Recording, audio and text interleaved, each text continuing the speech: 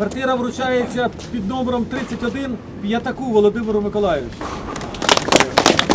10 квартир вартістю понад мільйон гривень. Кожна передали родинам військовослужбовців 15-ї бригади транспортної авіації. Чоловіки з цих сімей служили або й досі служать у зоні АТО. З якими труднощами, з- з потугами да, стикалися під час вирішення цього питання. Слава Богу, що це все сьогодні позаду.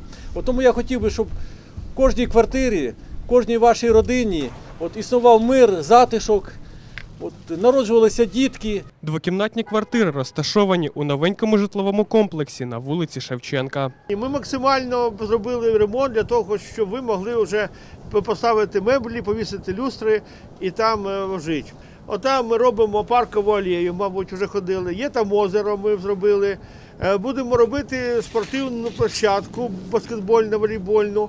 От. І я думаю, що це буде ошатний, е, гарний мікрорайон для, е, для комфортного житла. Окрім того, неподалік знаходяться дві школи, а також розпочато будівництво нового дитячого садочку, що є вкрай важливим для молодих родин. Володимир Косинський, Віталій Назаркевич. Новини телеканал Бориспіль.